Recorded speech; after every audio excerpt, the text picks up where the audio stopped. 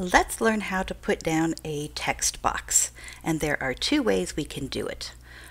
Uh, we start out the same for both. We're going to go up to the tools. We're going to click on the text tool. And I can come here and I can drag and drop a box. And then I can type in that box. So that's one way. Now I'm going to click off of that box for a moment, go back to the text tool. The other thing I can do is come over here and just set my cursor where I want the text to be and instead of dragging and dragging and dropping I can just click and start typing.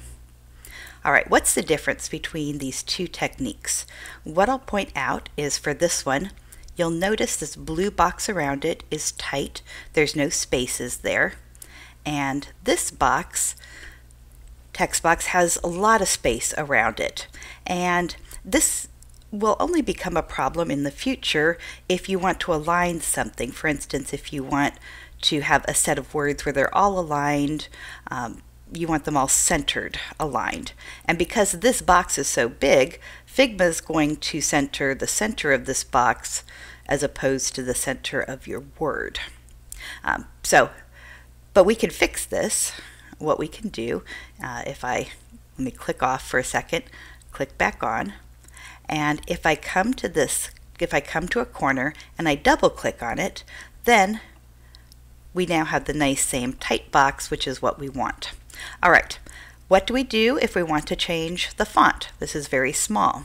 So let me go ahead and click in here and I come over to the right hand menu here and you'll notice we have text commands. This is to choose the font. And so I can choose a different font. And let's say I'm going to choose Inknut Antiqua. So I click on that.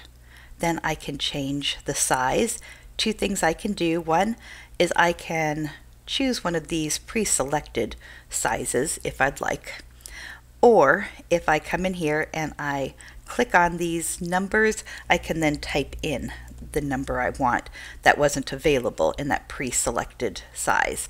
And also, little pro tip, if you hover towards the left of the font size, you'll see this little double arrow.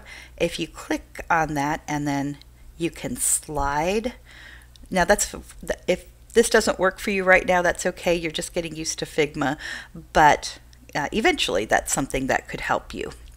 You can also change the fill here, and we'll talk more about this in a different tutorial, but I could click and have a red font. So those are a few different things to know about getting a text box. You should now go ahead and make a text box and write the word home. Choose a font, change the size of the font, and give it a fill.